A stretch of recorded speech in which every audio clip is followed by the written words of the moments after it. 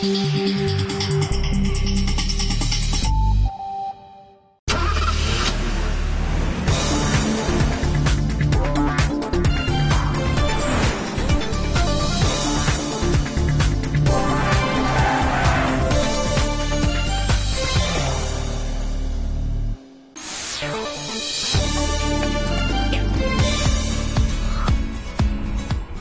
it is, the latest from Porsche. The German sports car maker pulled out all the stops with this latest incarnation of the legendary 911.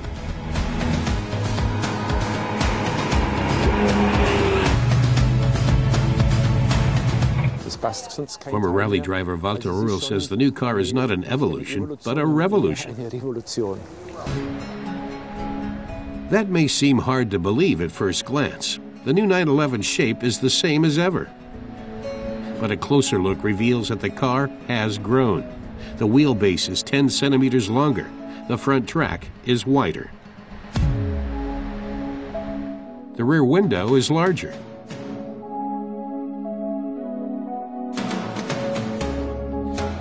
And there's no apparent engine compartment. When you open the rear cover, the only things that hint at an engine are the oil and window washer fluid caps. Inside, the central console rises steeply, much like in the 911's big brother, the Panamera, and a careful inspection reveals one detail that may not please every driver. Röhrl says if there's one thing he misses in the car, it's the manual parking brake. That's something a sports oriented driver like him likes to have.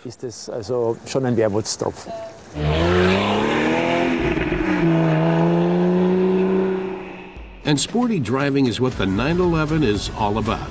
This is the seventh generation of the famous Porsche, but it hasn't lost any of the genes that make the 911 a purebred sports car whether with Porsche's dual clutch transmission or the company's new 7 speed manual.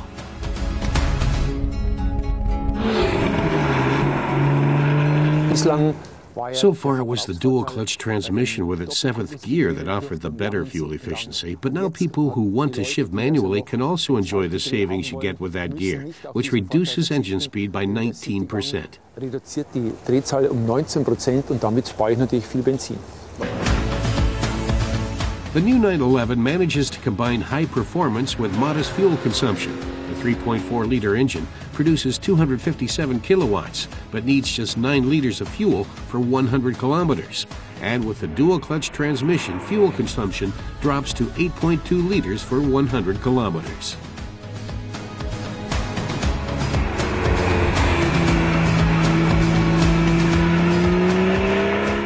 Das Auto ist. But Röhrl notes that the car has gotten faster too. It can finish on lap at the Nürburgring racetrack 14 seconds faster than its predecessor, an improvement that Porsche has never before achieved with a new model. At the same time, the car is much more comfortable, and it's that combination of performance and comfort that is what sets Porsche apart. The 911's sporty aspirations are clearly evident in the cockpit. Pneumatically adjustable bucket seats, a big color display, attractive chrome and leather appointments.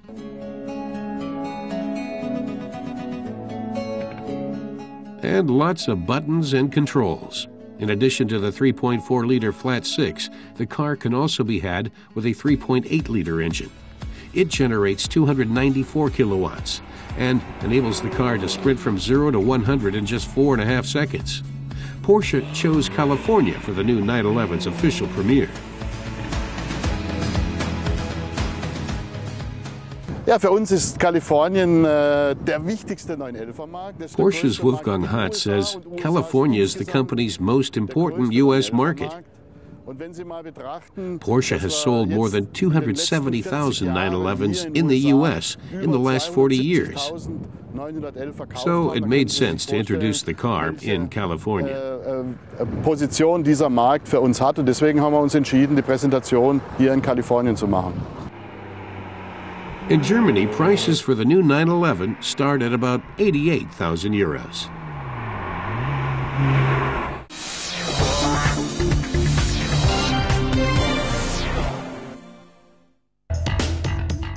The top three German high performance car makers are Mercedes, Audi, and BMW. And that's the way it's been for many years.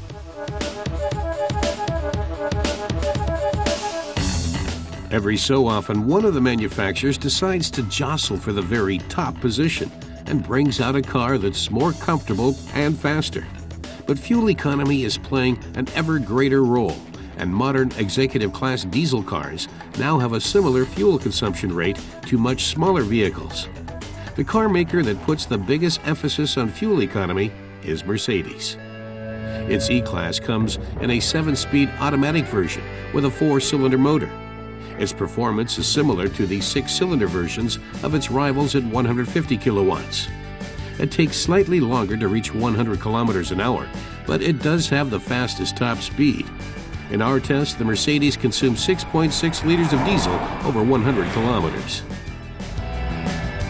There is one drawback to the Mercedes its rather loud engine jars with what is otherwise a calm and comfortable car.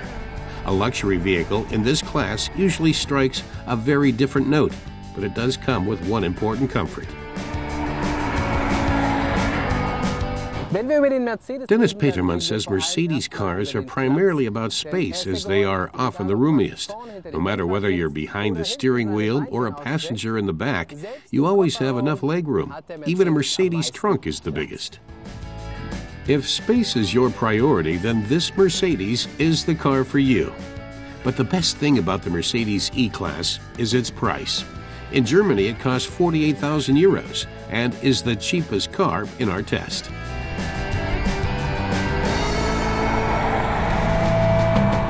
The BMW 5 Series is the sportiest car in the test.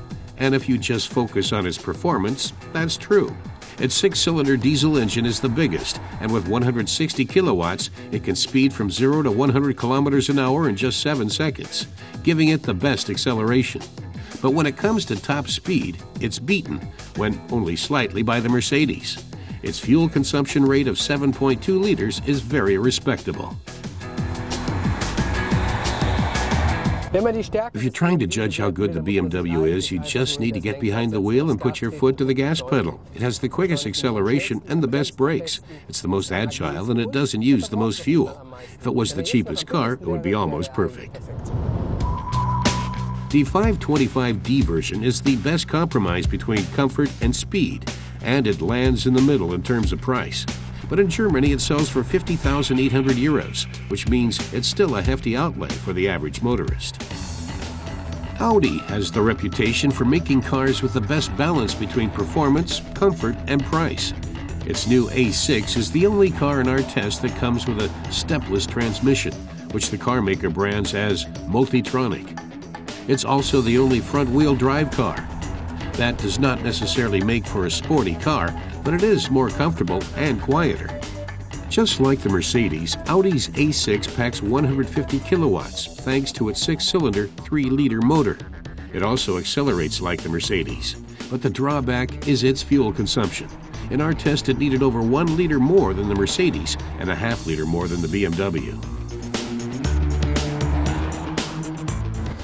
The Audi A6 is the newest car in this test, although you wouldn't think that by looking at it. That's because Audi did not alter its design so much because its predecessor was so well received. When you look beyond its exterior, you notice it does well in terms of comfort and performance. It's always among the leaders in its class, and it doesn't have much in terms of weaknesses, except when it comes to driving dynamics. It's the only car with front wheel drive in this test, and surprisingly, it's the most expensive. That's because xenon lights and air suspension are included in the price. The new Audi A6 loses points because of its handling and high price. At 51,100 euros in Germany, this version is the priciest car in the test. Mercedes E-Class nudges the A6 out due to its good combination of cost and performance. But BMW's 525D is the winner thanks to its perfect harmony of sportiness and comfort attributes a high performance car needs to be considered the best.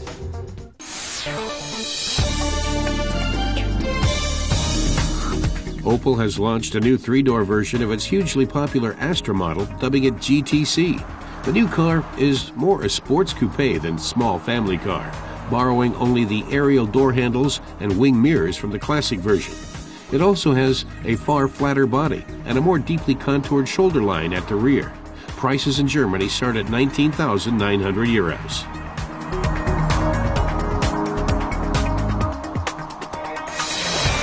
Seat presents its new pocket rocket, the Mii. You don't need to have eagle eyes to see it's based on the new Up from Volkswagen.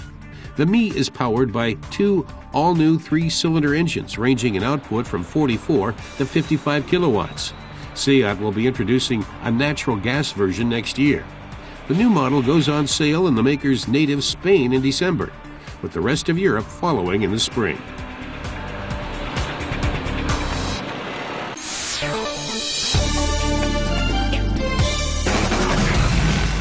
Hard to believe that these guys are just doing some test riding. Here at BMW's Enduro Park in Bavaria, Husqvarna Motorcycles is presenting an ABS device specially designed for off-road biking. Industry critics have flocked here to check out the little wheel-mounted innovation in action. Otherwise, the bikes look just the same.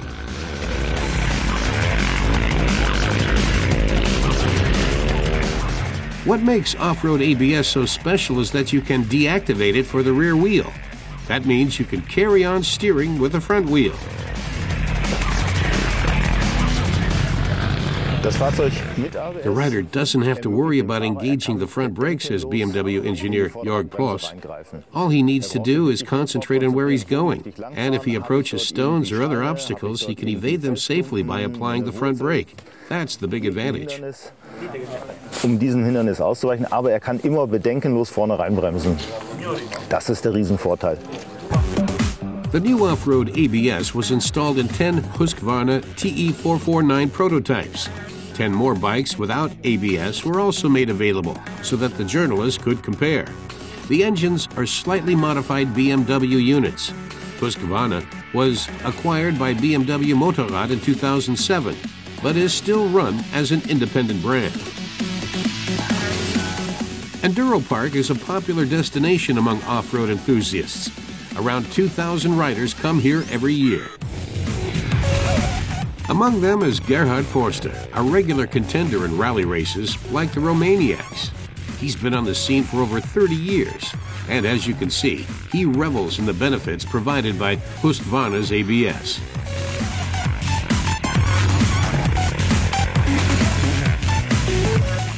Locking the rear wheel slows down the bike while still enabling the rider to stay in control.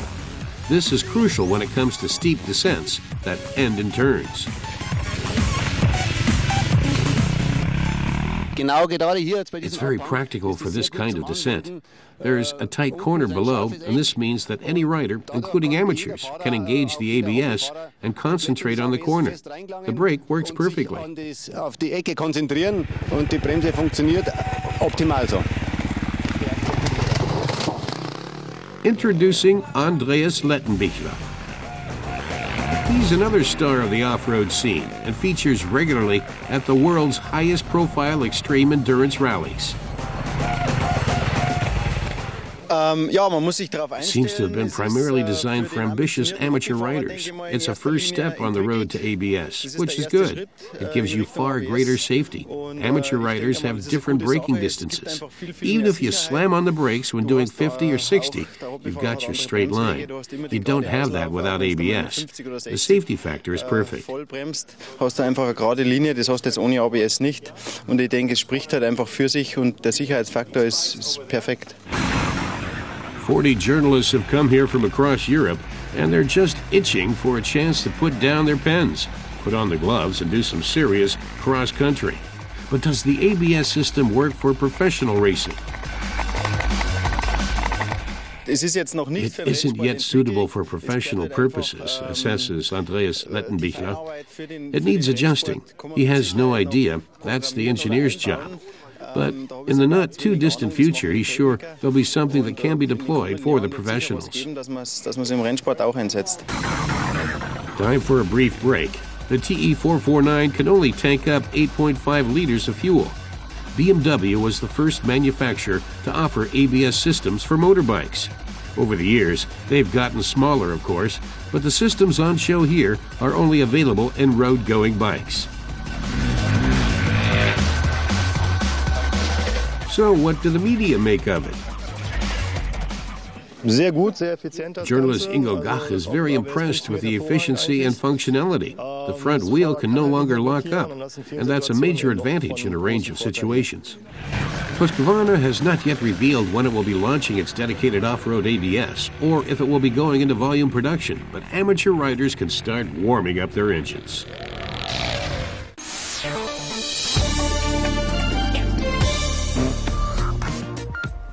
Christoph Bauer is at Volkswagen's Autostadt complex, eager to test drive a milestone in automotive history. He finds what he's looking for at a special exhibition honoring the legendary engineering company Italdesign. Christoph picks out the Volkswagen Scirocco Coupe, created by Italdesign founder Giorgio Giugiaro. Around half a million units of the first edition were built between 1974 and 1980. For VW, the Scirocco marked the dawn of a new era. In the late 1960s, notes Christoph, all VW models, especially the Beetle, were starting to become outdated. So Volkswagen decided to blow away the cobwebs by introducing two new winds. The one was the not quite so powerful but very solid Passat, meaning trade wind. It came out in 1973. And then there was the hotter and sometimes also stormier wind, the Scirocco. And the Italian designed Stallion Scirocco duly went down a storm on its launch. Critics praised it as the first genuinely sporty car in Volkswagen's history. The VW Porsche 914, which came out several years earlier, must have slipped their minds. The Scirocco was put together by German coach builders Karmann, which became a tradition. The Scirocco was kind of a successor to the Karmann Ghia, although the only thing they really had in common was perhaps the combination of Italian design and German engineering. Otherwise, it marked a break with all VW traditions. No rear engine, no rear wheel drive, no air cooling, instead, a water cooled front engine and front wheel drive. The similarity to the Golf and Passat is unmistakable, with the classic 70s style Volkswagen features proudly on display. The alloy rims and abrupt drop off at the back simply ooze sportiness. Plus, there was a large trunk.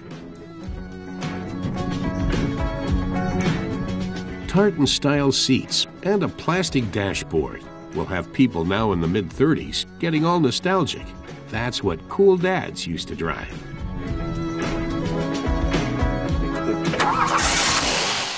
The 1.5 liter four cylinder engine in the Scirocco GT delivers a growling 70 horsepower. And who designed it? Giorgio Giugiaro explains our test driver. The Italian designer created VW's entire new model family in the early 70s the Passat, the Golf, and the Scirocco. And the form vocabulary with the bold lines and wedge shape, back then that was very much in vogue. Bella Macchina, made in Germany. And what really stands out about the Scirocco, of course, is the color Viper green. And in combination with the green tartan seats, it's a beauty to behold. Plus, it's still state of the art. That Viper Green is back with the new Scirocco. Das gibt's auch wieder beim aktuellen, beim neuen Scirocco. The Scirocco still has its street cred, no question. The Italian crafted body fits like a glove, and the workmanship and price to performance are typically, for a German car, very impressive. But what about the feel at the wheel? Front wheel drive and four cylinders don't exactly sound like dynamite. The advertising for the Scirocco always stressed its performance. It took some convincing to market a sports car feel with front wheel drive, but eventually people got it. Christoph read a test report from back in the day. The Scirocco even beat out the Opel Manta and Ford Capri.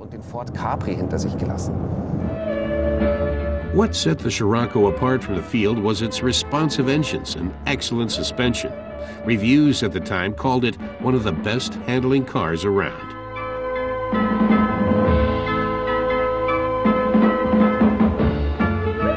Scirocco. Ein Rennsportcoupé in Bestform. And it really does have a sporty feel. Christoph highlights the powerful engine. It's light and above all has a pretty cool sound. The concept of a cool VW was still hard to swallow in the early 1970s. The Passat, developed by Audi, likewise had a struggle to shed its conservative image. But the defining tuning point came with the Scirocco and the Golf, launched soon afterwards. The Scirocco was the first modern Volkswagen developed by VW itself, but what makes it so special is the sum of its parts sportiness, great value for money, modern engineering, and of course, its exciting design. It's indisputably a landmark in automotive history. The Scirocco showed that a front wheel drive car could still be a joy to drive. In doing so, it paved the way for an entire generation. The Golf generation.